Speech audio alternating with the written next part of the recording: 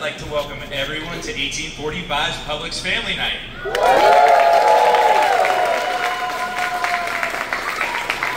At this time, I'd like to invite Merrill Fraley from the College Park United Methodist Church up to the stage to give this evening's invocation. Okay, we're gonna pray. I'm so excited you all are here because you are my new Publix. I live three blocks that way. So I can't wait to see all you guys all the time. And like Publix, shopping is a pleasure, and my place, praying, is a pleasure. So thank you for inviting me to pray for you all.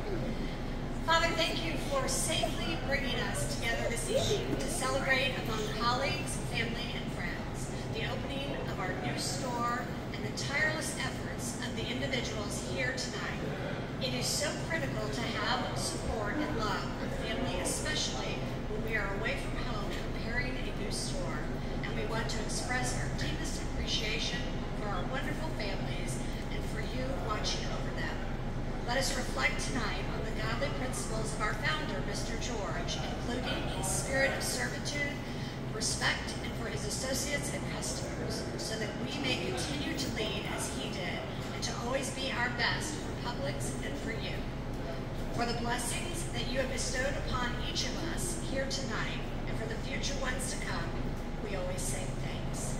Amen. Thank you, Merrill. We are so thankful to be here tonight, surrounded by family and friends, to honor and thank you for all the hard work you put in to make this store look so outstanding.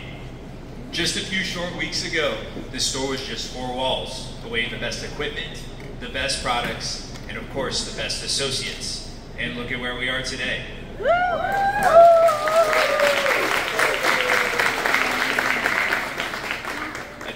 Publix Family Night ceremony and having the opportunity to greet and welcome a new store team is a privilege for our Publix leadership.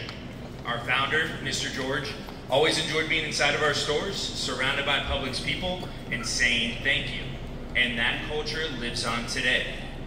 This evening, we have some of our Publix leaders here with us to help us celebrate. Allow me to introduce our president, John Golf. Of pharmacy operations, Whit Taylor. Our divisional vice president, Adrian Bennett. Our regional director, Trey Osteen. Our director of merchandising, David Hannigan. And your district manager, Carrie Tubbs. Now you're probably wondering why you were handed a ticket when you walked through the doors this evening. Well, tonight we'll be raffling off two $50 Publix gift cards for you to bring back tomorrow and use during grand opening. It's our way of saying welcome to your store and thank you. So everyone, do me a favor, go ahead and get your tickets out. We're gonna go ahead and draw for that first card. John, can you pull the first ticket for me, please? Thank you, sir. Everybody got their tickets out? All right, our first winning ticket is 611263. 611263, come on down to the gift card.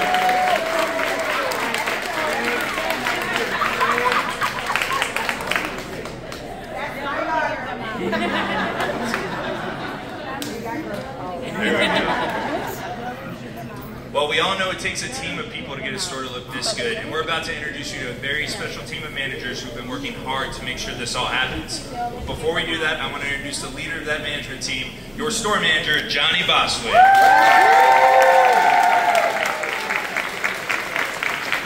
Thank you, Jordan.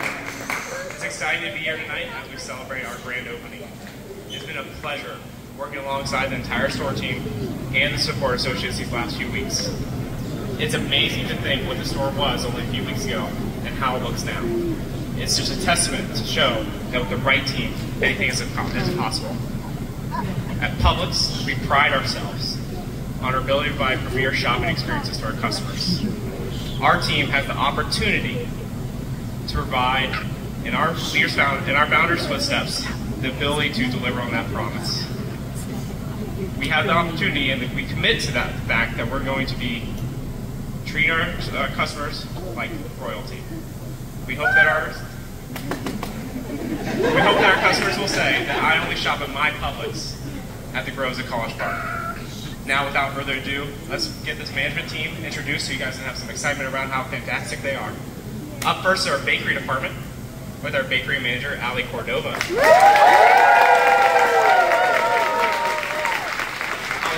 Publix for 12 years, and she enjoys when she's not here. Traveling, cooking, and spending some time outdoors, and maybe a little photography while she's out there. Up next, we have our assistant bakery manager, Ryan Everhart. Ryan's been with Publix for eight years. When Ryan's not at Publix, he's always on a plane with his fiance traveling the globe. Up next, we have our customer service department with our customer service manager, Julianne Barnum. Julianne's been with Publix for 14 years. And when she's not traveling or going to Disney, she's out oh. carrying a Starbucks as she goes about her business. Up next, we have our assistant customer service manager, Chris A. Bear. Chris has been with Publix for 10 years. And when he's not here, he's working on his motorcycle or riding around. He also enjoys photography when he has a free time. Up next, we have our deli department with our deli manager, Jimmy Petrick. Jimmy's been working for Publix for seven years, and when he's not here, he's fishing, spending time with his wife, or maybe playing a game of hockey. Up next, we have our assistant deli manager, Loretta McKnight. Loretta's been with Publix for 17 years, and uh, the most important thing to her when she's not at Publix is her family. She loves to cook and spend time with them, and when she's not doing that, she's always out hanging out with the girls. Up next, we have our grocery team with our grocery manager, Andrew Grover. Andrew's been with Publix for 13 years, and when he's not spending time with his wife, preparing for a new baby, he's cheering on the Atlantic City soccer team. Up next, we have our assistant grocery manager, Charles Longacre. Charles has been with Publix for eight years, and the most important thing, thing to him outside of Publix is the family that he's developed along the way. Next, actually have our meat department with our meat manager, Betsy Frazier. Betsy's been with Publix for Betsy's been with Publix for 18 years. And if she's not fishing or cooking, she's building stuff around the house. Next, we have our assistant meat manager, Dylan Craig. Dylan's been with Publix for eight years. When he's not fishing or golfing or playing video games, he's going to be restoring some old knives. Up next, we have our pharmacy team with our pharmacy manager, Tara Hall. Tara has been with Publix for 25 years. If she's not cheering on her son at her basketball as basketball games, she's either traveling or spending time the, with their church community. Up next, we have our assistant pharmacy manager, Alexis Jones. Alexis has been with Publix for three years, and if she's not doing DIY projects around her house, she's definitely traveling. Next, we have our produce department with our assistant produce manager, Chris Haley. Chris has been with Publix for nine years. If Chris isn't spending time with his dogs or golfing, he's always making great jokes. Last but not least, we have our assistant store manager, Leslie Stanberry.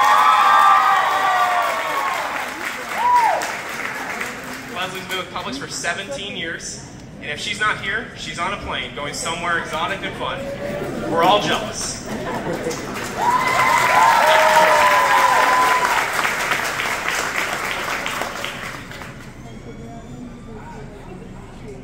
All right. Now that we've met our exceptional management team, I'd like us to take a moment to recognize all the family and friends of our associates and managers that we have here with us this evening, to honor them for all the support they've been providing our store team over the last few weeks as they've readied the store for grand opening.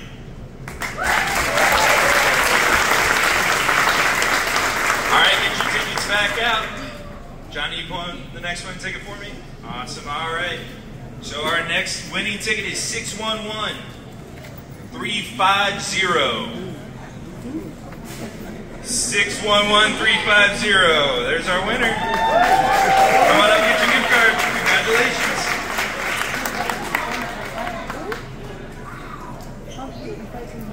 All right, it's now my pleasure to introduce our president, John Gall.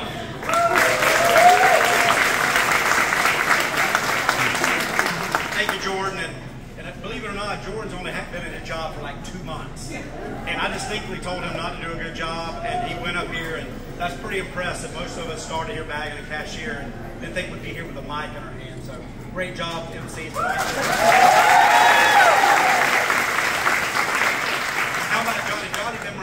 Every single thing about. All I know is everybody's traveling the world. I didn't even leave the United States until last year, literally. So my wife's listening to all that over there. So you know, people went to Italy. I took my wife to Olive Garden. We did the tour of Italy. but it's just my honor and privilege to be here tonight. Um, continue the, uh, the legacy that our founder, Mr. George, started. He believed in coming here and thanking everybody for their hard work and thanking everybody for the sacrifice and just basically celebrating the new store. Um, and you guys met this amazing uh, management team. But what a what a privilege it is, and it says a lot about you folks. You know, we only pick the best of the best to open a Publix store. So congratulations, you guys, for being selected to open.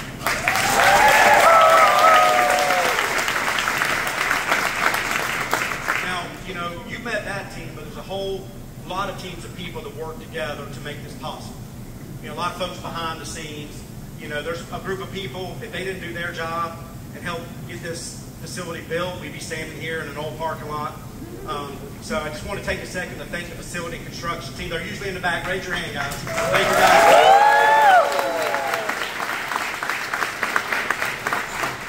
We also have a great support team. I think the team over here would agree. The RCs and really the RISAs are here for two or three weeks helping set this store up and really giving these guys the assistance they need. So with um, Dave Hannigan, the RCs and RISAs, please raise your hand. Just want to acknowledge you guys for the hard work. And that's kind of, we also have people in marketing. Everybody has a job. We have something at Publix we call One Publix with One Purpose. Really all the success we have is just a result of all the teams working together. And opening a new store is one of the best things about opening a new store is hiring new Publix associates. So I want to know who here is brand new to Publix? Raise your hand.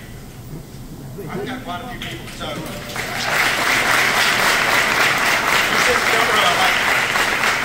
and I know some of you folks are thinking, hey, I'm just a bagger, I'm just a cashier, hey, this is just a, you know, it's just a job for now.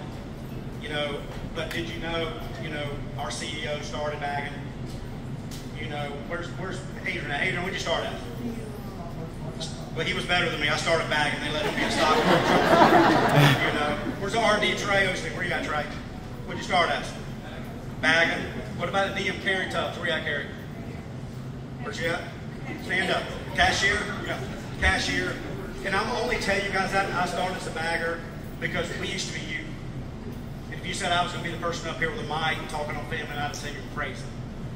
But Publix is the one company that no one came here to be here, and yet we all stayed 40 years.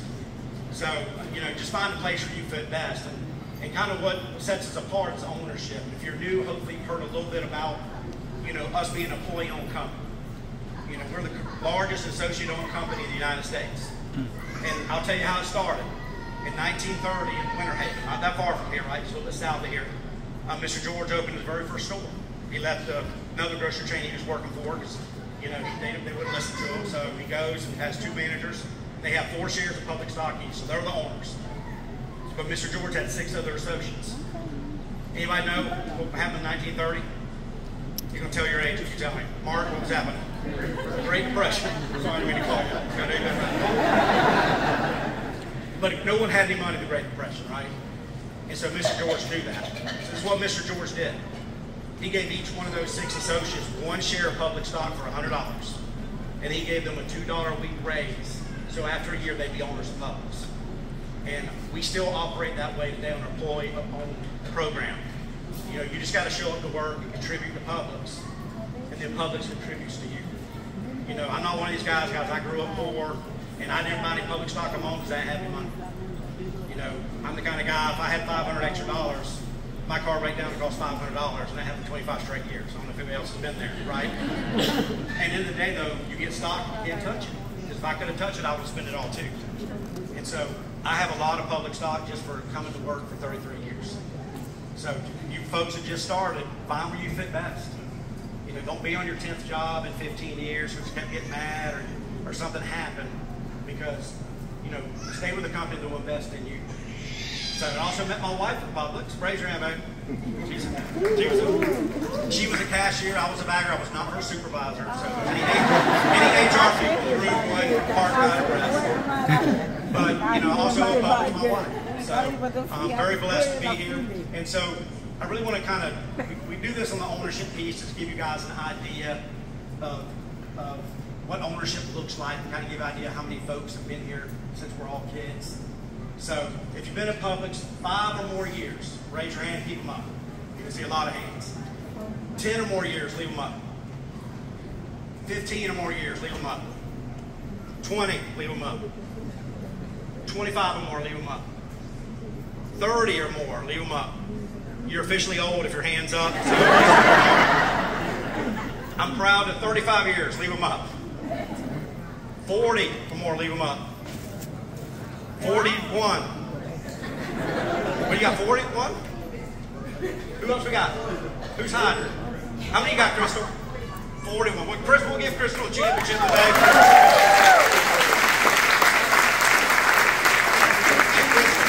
What did you start as Publix at? What did you start as? Bagger cashier. You know, it just kind of goes to show the, the people stay at Publix, you know, because we act a little differently because we own the place, right? and that's kind of why Publix people act the way they do. So, um, with that being said, there's no prize, Crystal, so it's just a, a round of applause for your prize. Hey, let me ask Johnny to come back on the stage, if you would. And, Johnny, we have a key here that opens nothing. But this part I got to read. I got to make sure I get this right, right? So, Johnny, on behalf of your DVP, Adrian Bennett, our CEO, Kevin Murphy, the board of directors and the 250,000 Publix associates present you with a key as a symbol of your commitment and ownership for taking care of this facility, our associates, and for delivering world-class service to our customers in Orlando, Florida. Congratulations. Thank you.